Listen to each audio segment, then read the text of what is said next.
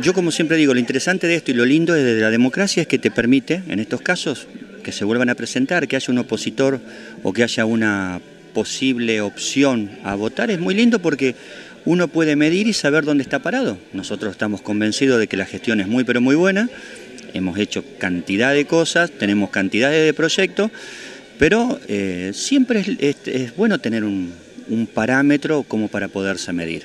Es, muy interesante y, es parte de la democracia, la verdad.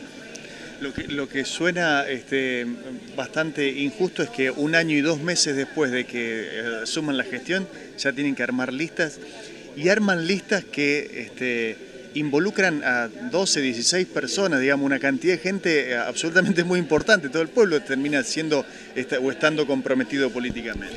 Sí, sí, es cierto. En relación a lo, primero que comentabas, en, relación a los tiempos, eh, ya sabemos que es así, o sea, esto ya, el que ingresa sabe que tiene un año, un año y pico, y te volvés a encontrar en una, en una campaña, por decirlo de alguna manera. Lo que nosotros venimos sosteniendo y diciendo es que nosotros estamos haciendo campaña desde el primer día.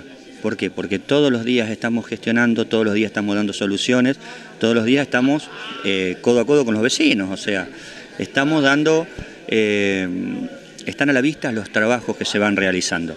Entonces, más allá de que vamos a reforzar y vamos a conversar más todavía con la gente, eh, yo creo que venimos con 12, 14 años de, realmente, de, años, 12, 14 meses eh, en campaña. En caso de ser reelecto, ¿cuál es el proyecto a mediano plazo que usted dice, bueno, vamos por esto y tenemos que concretar? Lo dividiría en dos partes. Creo que en un momento te lo comenté hace un tiempo atrás. Todo lo que habíamos dicho que teníamos como proyecto para estos dos años, 17-19 que termina en diciembre, lo cumplimos en uno todos.